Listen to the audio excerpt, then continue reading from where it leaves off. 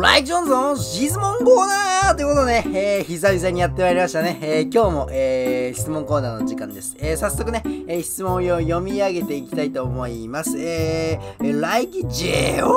ーンズさんと、えー、PS を上げるにはどうしたらいいですかとね、まあ、これにはね、とっておきのね、あのアンサーがあります。まあ、いつもね、僕はね、こう、ケツからユニットを出したりね、まあ、あの、ケツを出しながらね、クラロワしたりね、結構こう、ふざけてるっていうところをね、皆さん、えー、そんな印象持ってると思うんですけどね、え今日は本当に真面目にね、え答えていきたいと思いますね。まあ、なんですけどね、今回、えー、まあ、うちのね、ポノスのエースオブエースである、まあ、やっぱりね、あの、まあ、麦と、KK ですね。まあ、の、えー、KK 選手からね、え今回、えー、もうその、絶対的なアンサーをね、えいただいておりますね。まあ、この全ての物事に通ずる、まあ、練習方法といいますか、考え方、まあ、これにね、やっぱり僕はね、あの、すごく圧倒されて、しかもね、その練習方法をした後にすぐに結果を出す、まあ、そんな様をね、えー、見ていただけたらね、光栄でございます。ということでね、えー、KK さんの、えー、ありがたいお言葉を、えー、どうぞ。努力とか才能じゃないですよね。結果勝負開けるのね。こうやって毎日素振り1000枚やってるやつがなかったですよ。一日途中コロって。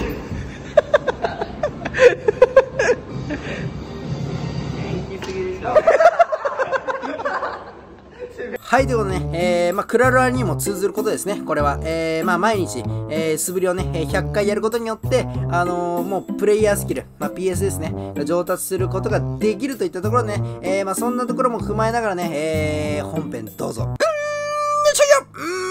ラギゾンですよね。今日もやっていくんですけどね。えー、今日はね、えー、前回のね、えクララリーグの、えー、ファブ戦のね、え、試合の解説をしていきたいと思います。なんですけどね、えー、前回ファブと戦って、えっと、2v2 もね、え、KOH もストレートで勝つことができたんですけどね、マジでね、ファブ戦で勝ったのね、ま1年ぶりぐらいなんじゃないかなっていう、本当にね、そんくらい、で、なんなら2年ぶり、なんなら2年ぶりまであるぐらい、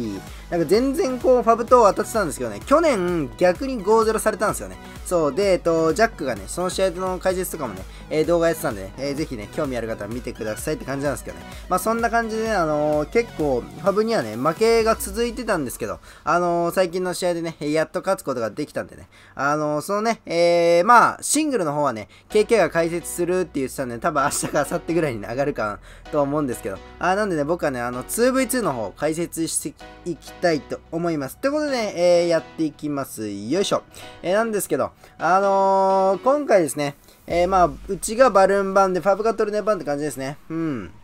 ねまあね、まあ向こうはね、何番してくるかな？わかんないなって、まあ多分トルネかなみたいなね、感じでもわかんないなっていう感じだったんですよ、正直。まあ今回なんか、なんだろう、2年前とか1年前とかって結構 2v2 ってなんかトルネ固定してるチームとか多かったじゃないですか、多分ね。去年から見てる人とかね、今年からの人はね、ちょっとわかんないかもしれないですけど、あの、トルネバンで固定してるチームが多かったんですよ。ですけどね、まあ最近だと、やっぱりこう、ヒースピバンダとかね、まあ、トリトンバンダとか、まあうちのこう、バルーンバンダがね、結構やっぱ暴れた版をね、してるチームが多くて、なんでかわかんないですけどね。なんでかわかんないですけどね、トルネをバン、まあトルネがあれかな？ちょっと弱くなったからかな。まあ、えっと、前まではね、トルネが2秒だったんですけど、まあ、今回1秒になって、まあちょっとだけね、まあ 2v2 だと弱くなったと、えー、いうことでね、あのー、まあそんな感じですね。うん。さあ、ということでね、始まっていきます。で、バルーンとトルネがない環境ですね。うん。で、まあ、トルネがないんでね、まあ、枯渇とかも結構強いかなって感じで、まあでもね、枯渇が来て、最初ね、こう、俺がね、えー、まあこれ手札とかね、えー、同じなんですけど、左が俺で、右が、えー、ラットって感じですね。で、上がポノス、下がファブって感じですね。で、最初ね、こう、ウッドがなくて、えー、ババとかで受けていって、ラットもね、こう、スケバレが来てたんで、ベビドラでね、えー、受けてもらってって感じでね、えー、最初から結構、あのー、雪玉、あ、ザップだっけ？ザップだったっけな？確かザップだそう。ザップとかね、あのー、ウッドがないね、結構厳しい感じだったんですけど。で、ここですね、俺がね、トリトン出したんですけど、もうちょっとね、逆サイ高めとかに出していけばね、あのー、メガナイトをこう引っ張って、えー、できたんでね、このダックプリの事故もね、防げたかなって感じでね。まあ、ダックプリはラットなんですけど、あの、俺がね、トリトンをうまーく出していけばね、ダックプリの端っこの方に出してね、ええ感じにできたかなという感じでね、最初はね、結構痛いミス食らいましたね。で、これ足元にコウモリ来て、えー、ヒースピ追加して、まあまあまあまあと、まあ最初はね、うーん、あ、これ、ちょっと危ねえかっていうね、そんな感じだったんですよね。そう、なんですけどね。まあ、こっから、まあ、本当はね、こう、なんだろう、ドラドラ系で、こういうマスケとかも受けて、後ろからね、え、ラバーを展開して、がっつり組んでいくっていうのがね、割と理想ではあるんですけどね。まあ、エリクサーが、そう、てかまあ、俺の手札的にドラドラどっちも切ってて、そう。なんで、まあ、シャーナシラバ受けですね。シャーナシラバ受け、押していきました。さあ、ここね、えー、ベビドラ追加して、なんか来たら5打とうと思って、俺こう、ずっとね、3コストしかないけど、構えてたんですよ。4コストになってね、ファイーンって打ったんですよね。そう。そしたら結構ね、あのー、相手の対空が薄くて、多分この時に、えっと、ケンツ側かな？右側が5しかなくて、まあ、打つか打たないかぐらいなね、ところだったと思うんですね。まあそうなんで、まあベビドララバに5打ったとて、まあラバがまだ弾けるわけでもないしね、渋いかなっていう感じでね、多分対空がなかったんですよね。そう。なんか俺らがこう使ってるカツとかって結構アウトローとか、なんか吹き矢こう2枚入ってたりしてね、結構対空熱かったりするんですけど、これ結構なんか陸もめたりつつ、空にも勝つみたいなね、そんな感じの勝つですね。さあ、そんなところでね、バレルが来て、でね、この5早かったですね。いやー、マジでね、俺これホバー生かして真ん中ラバーとかね、行こうとしたんですけど、5がね、こうタワーに来て、うん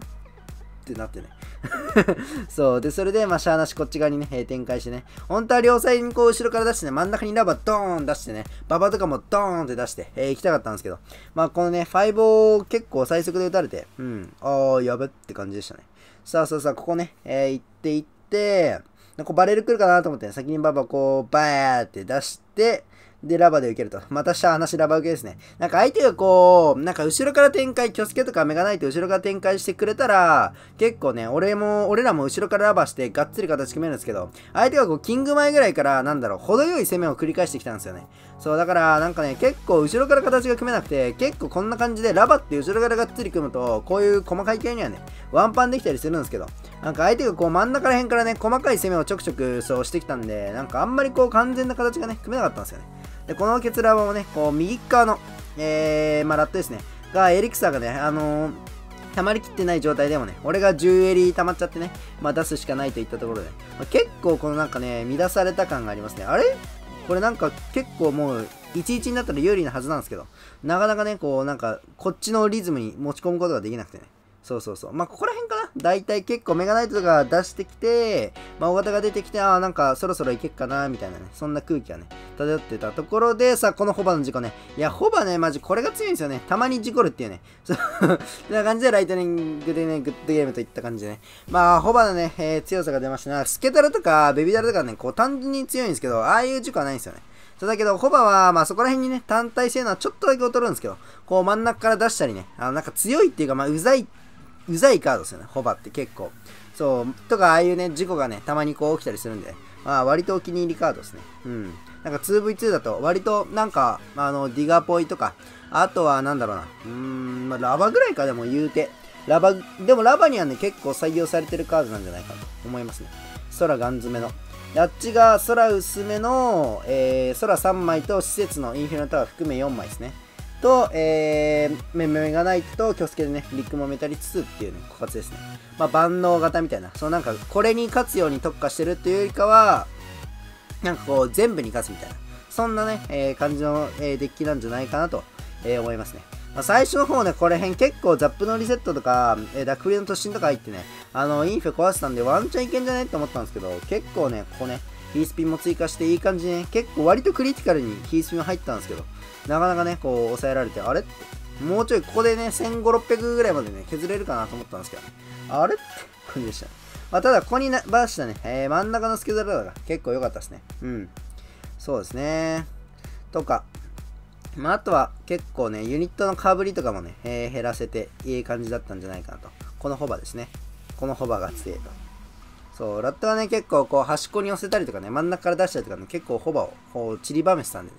おありがとうございます。と、えー、いった感じですね。まあそんな感じで、えっと、1戦目勝利することができ、まあね、トルネとね、バルーンバンだとね、何が強いんかなうーん、なんだろう。まあ、パッと思いつくのは、まあ、枯渇ですよね、やっぱり。そう、トルネがあると、やっぱりね、その 2V2 って、キング軌道がめちゃくちゃでかいんで、バルーンとかね、枯渇とかね、あのー、使いにくい。まあ、バルーンは今回バンなんですけど。まあ、なんですけど、やっぱりこう、枯渇とかね、うん、がちょっと強いのかなと思いますね。まあ、俺らもなかなか、ポノスもね、結構枯渇とか採用してね、えー、まあ、この前は俺の芝バレルもあったんですけどね、まあ、そんなことは置いといてね、えー、2戦目解説していきたいと思います。はい。えー、ちょっと飛ばそうか。うん、ここら辺まで。えー、なんですけどね。あのー、そ、こら辺でね、今回なんかタイムアウトとかを取らなくても、あのー、人が入れるシステムになったんですよ、部屋に。そう、なんで、まあ、こんな感じでね、あの、毎試合毎試合、こう、焼き鳥とか、あのー、大体焼き鳥と天ゴットと、まあ、縁かな、あと、たまにタイトさんみたいな、そんな感じでね、あの、入ってきて、割となんか戦略の話っていうよりか、大体ね、こう、こう、1試合目これ出してっていうのは決めてるんで、まあなんか、戦略の話っていうよりかは、まあこれでいけんのみたいな感じで、うーん、いっちゃういっちゃういっちゃうみたいなね。そんな感じですね。割となんかこう、戦略というよりか緊張をほぐすようなね、話をしてますね。まあ逆もしっかりですね。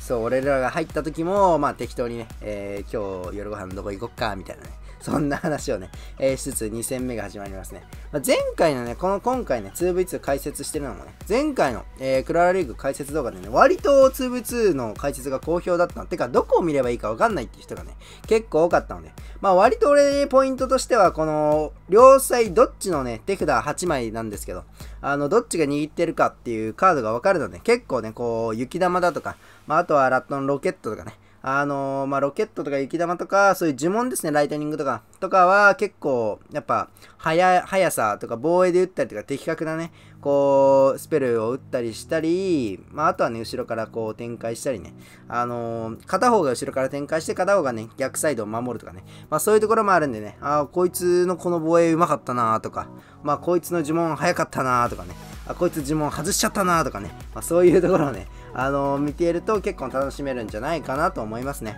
うん。さあさあさあ、これでね、まあ、ごぼうり置いたんですけど、相手が動いてこなかったんで、うーん、なんだろうって感じでね、とりあえずラバーって感じですね。まあ、とりあえずね、後ろからラバーポイって出しておけばね、割となんかゴレとかと違ってね、まあ、ラバーは、まあ、ちょっとだけゴレよりもちょっとだけ軽いんでね、まあ、ケツラバしてもなんかあんまギャンブルにはならないですね。あんまそんな、まあ、大きい得をすることもそんなないんですけど、あの、そんな大きい損をすることもないって感じですね。さあさあさあ、こんな感じでね、まあ真ん中にぴょってね、寄せていって、そうですね、端っこの対空でバコバコバコバコって縛いていく感じですね。さあさあさあさあさあさあさあ。で、まあここでもね、ホバが結構強いんですけど、巨爆バギョーンって感じで、結構ね、序盤はトントンですね。で、これヒースピ来たんですけど、うーんって感じでね、ギリギリ回復しなかったんでね、おこれは無視してよかったといった感じで、両方ね、2ヤードぐらい取ってるんで、4ヤードぐらいですかね。うん。取って削らば展開ですね。うん。まあ、トリマード取ったらケツラバ、トリマード取ったらケツラバをね、繰り返すようなね、まあ、そんなデッキっすね。まあ、だから逆サイドのね、え、守りを固くするためにね、まだこう、伏せられてるんですけど、カードは。まあ、馬場が入ってたりとかね。まあ、そんな感じですね。まあ、縦線とかをね、入れてる人とかもいるんで、まあ、そこはお好みって感じで。そう、これね、真ん中に寄せようとしたんですけど、あの、ラットがヒースピで回復しますって言って、ポイって出したらね、全部バコーンって爆発した。あーっつって。で、次行こうか、つってね。そう、そんな感じでね。さあ、ただね、ここら辺の防衛うまかったですね。えー、ホバーを端っこに出してもらって、トリトン出して、ラットがね、このダック振り、まあ結構飛来心とかね、ライトニングくんじゃねえとかね、ファイボくんじゃねえとかね、そう、ファイボでやっぱトリトンか、この、ホバですね、どっちかの火力がね、減らされちゃうと、あの、ラムの突進がね、最後、ズンってこう入ったりするんで、あの、まあ、どっちかこう呪文打たれた時用にとか、飛来心用に、みたいな感じで、ラットが結構こういう細かいところカバーしてくれてますね。まあ、俺は結構後ろからラバ出して、うん、あとラットよろしく、みたいな、そんな感じですね。まあ、ここはこうですね。まあ、ラットがラバ展開して、ディガー来て、まあ、インドラでですね。そう、エリカツカツなんでね。あの、ちょっと高めから、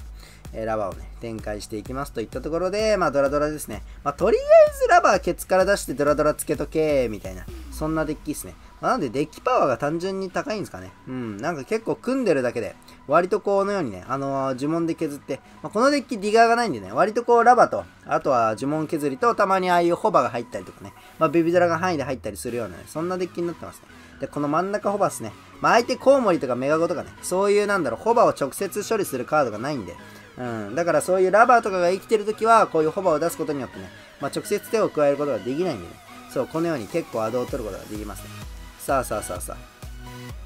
まあ、こんな感じでね、ラバ出して、インド出して、で、ディガー来て、ここね、トリトンね、えー、まあ、呪文警戒とかでちょっと位置も変えつつ、で、これのトリトンがね、呪文打たれたりス、スケとかでね、タゲ取られた時用に、ラットがね、ダック振り出してくれてね、そう、こんな感じで、で、ライトニング、これ来るかなと思ったんでね、2人でこう同時に後ろにババと、このごぼりですね。出して、で、マスケとかね、前歴とかに関してはさっきからね、まあ、ライト、ライトとか、あ、じゃあポイズンか今回、ポイズウッドで飛ばしたりとか、まあ、あとはね、ファイボザップでね、え、速攻潰したりして、まあ、ラバのね、ちょくちょくこう、ピチャピチャピチャピチャっていう、汚ね、汚ねえか、汚ねえか、ピチャピチャピチャっていうダメージを与えつつ、こんな感じでね、えー、防衛固めにやって、グッドゲームと。言って感じ結構ラムとかにはね、同サイド勝負になってくると、結構ね、こういう馬場とか、まあ、あとはトリトン、そしてゴボリがあって、まあね、あの、一応保険用の、で、これですね、えー、猿のポーズ。まあ、俺、覚えてるかな。1年前ぐらいに、ラットとカッチポーズの時にこうね、ダブルモンキーみたいなね、やったんですよ。ゴリラだったかな、その時。ゴリラの真似して、なんかね、あのー、ドズさんにね、なんか息子たちを、みたいな感じでね、あの、言われてたんですけど。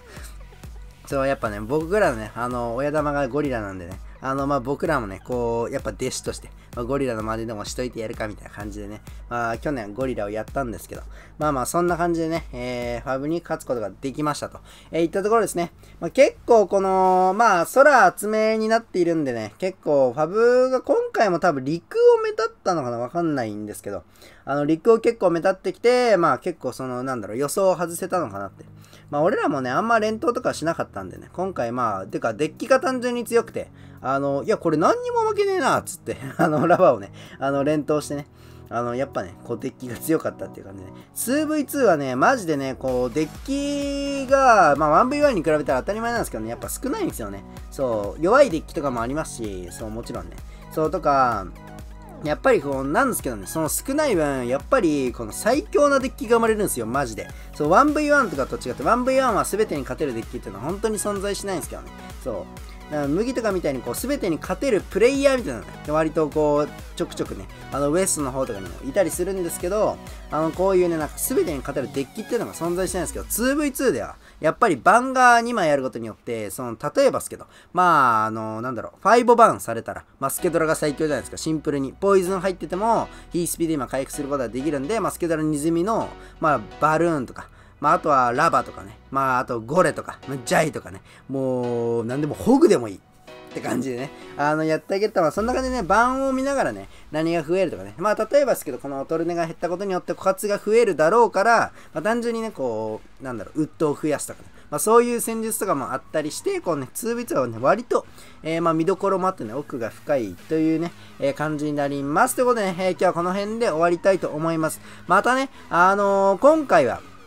あの、2V2 の、えー、解説のみだったんですけど、あのー、好評だったらね、えー、次の試合とかも結構ね、その 2v2 の試合の解説、そしてね、まあ自分が出たらまあ 1v1 のとか、まあ麦が勝った時にね、まあ、麦はこう自分で解説とかしないんでね、まあ俺がこう麦の代わりにね、えー、解説したり、えー、していきたいと思うんでね、もしよかったらね、えー、高評価、チャンネル登録、そしてね、え、コメントの方もよろしくお願いします。ということで今日もね、終わりです。また次の動画で会いましょう。バイバイ